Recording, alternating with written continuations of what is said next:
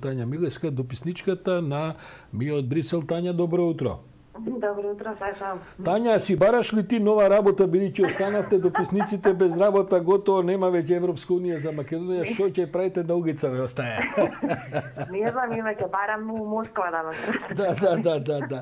А, Тања, про, мислам, прочитавме информации дека вчера во Луксембург било жестоко, дури и Мија јавуваше за големи uh -huh. дебати на состанокот во, во Европската да. унија, состанокот на министрите, се кршеа копија, би се рекло, сите против Бугарија за, за Македонија и Албанија, пред се за Македонија.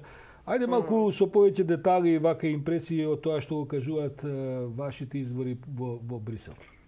Па да, значи тоа е тоа што кажуваш. Било прва дискусија, прва или втора била на дневен ред вчера, значи дискусијата за за проширувањето за Македонија и за Албанија, негде околу 9-10 сатот, 10. Uh, и јасно беше тоа што беше пренесено од дипломати што била присутни на, на дискусијата, дека uh, сложно сите земји членки многу речи си агресивно, да ни кажам, за некој од нив и ставиле на знаење на Бугарија дека ова е неприфатливо, не само за тоа што е се принципи во прашање, туку за тоа што се геополитички и геостратешки а, работи во прашање, за тоа што Македонија чека толку време, принципи се во прашање и на крајот за тоа што и Албанија не може да биде одвоена од Македонија и а, Бугарија колку и да сака да се покаже конструктивна со тоа што даде зелена светло за Албанија, де факто ја блокира Албанија со со блокадата на Македонија биле нај нај нај нај тврди биле германците, секако тоа го знаеме одамна нили, ама и словаците на пример Словакот бил тој што кажал си, си пукаме на себе на сам, сами себе во нога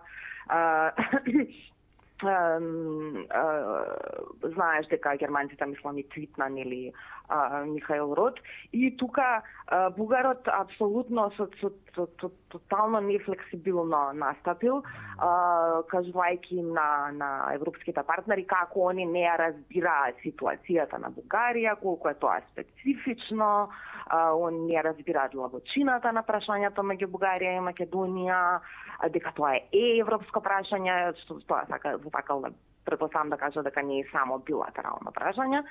А, така што било доста бурно, ама на истиот истиот ден на агенда ја има таа дискусија со Унгарија и со Полска, така што мислам и дека не не посветија толку многу време колку што може би ние се надевавме и очекувавме дека ќе Тања, во секој случај без разлика и на посветеното време информациите што и ние ги добиваме од разни извори се дека жесто бил притисокот, бил унисон притисокот, меѓутоа бугарите дошле со намера да не попуштат, така што може да они уште саат време да расправаат или два немало да дојде до промена. Ајде да прашам нешто друго. Какви се шансите сега може би Радев да го смени ставот во наредните ден-два, бидејќи сега и тоа е некоја, како да кажам, мала Видов. надеж и така, иако мислам дека и тоа е губење време да се изјава, Видов изјава, мислам, од министерот, нели, mm -hmm. многу се мали шансите. Мислам, јас вчера, вчера и на прес конференција го поставив прашањето, mm -hmm. дали воопшто ќе се ќе стане збор за тоа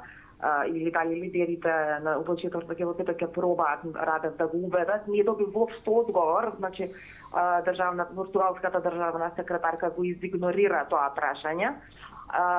мислам дека нема тука нема ако ако со техничка влада не се способни да одат напред, не гледам зошто Радев би земал би го зем, би го земал таа така одговорност така, на свој плеки, не. Особено а, така што, што мислам дека во тоа некој оптимизам вака да. Особено што и него и него го чекаат избори годинава председателски да, во Бугарија, абсолютно. така што мислам дека тоа треба да се исклучи. А, добро да. Тања сега, тоа значи дека ние полека стануваме нација на важно е да се учествува, што би се рекол. Вчера ги ги така дочекавме така и нашите фудбалери од европското првенство, да, многу убав успех, се надпреваравме, но изгубивме три дуели со скор кој што е таков какво што е.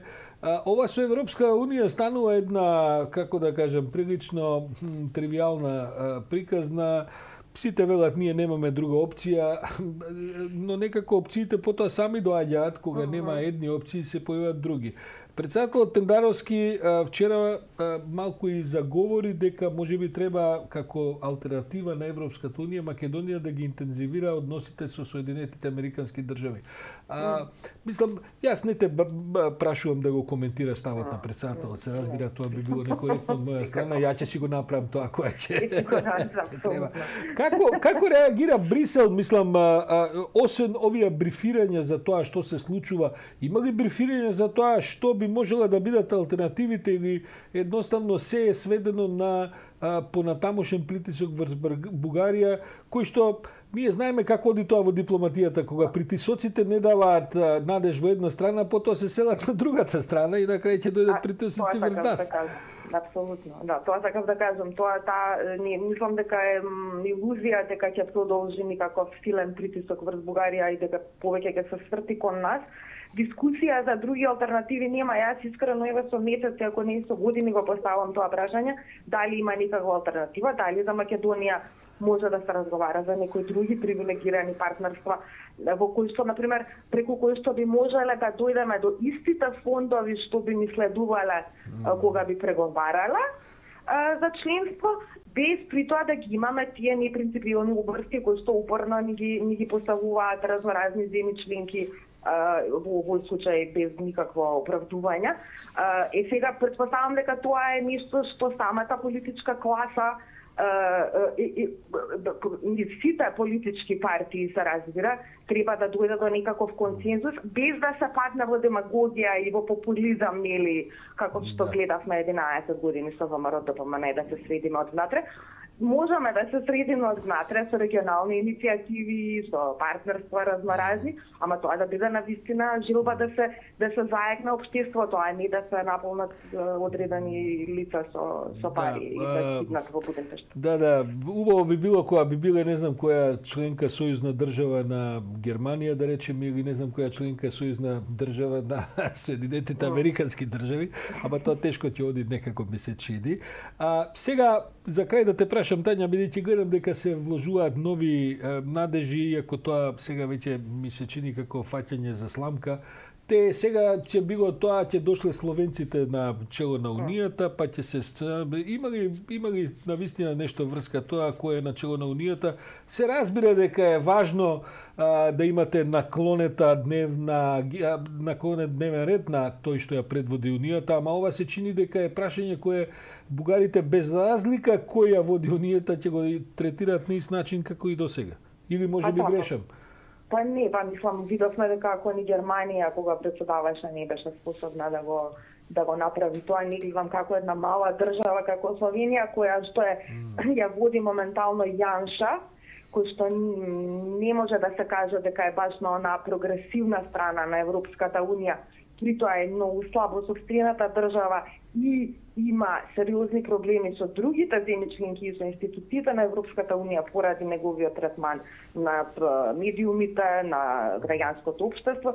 Не гледам кој авторитет баш ке го има Словенија тука, ако споредиме со Германија, нели? Е, така што не, не е моментот Uh, мислам од од македонска страна исто може би не знам како да кажам од наша страна може би е време и да покажеме една може би не, не да бидеме индиферентни, ама да покажеме дека можеме сами, не мораме баш секогаш онака сервилно да чекаме нешто некој да направи за нас. Има, има, има многу точки па, на агендата. Тања, морам, морам, морам да, да кажам дека, дека тешко можам јас барем да очекувам како некое предвидување дека ќе добијат бугарите следен заев за наредните 2-30 години ако со овој заев не успеа да се договорат бидејќи мислам дека се обтегна сите македонски можности за флексибилност до крајни граници дури по цена на домашна политичка штета кај нас и тоа не даде резултат. Ништо Тања, останавте без работа, видите таму нешто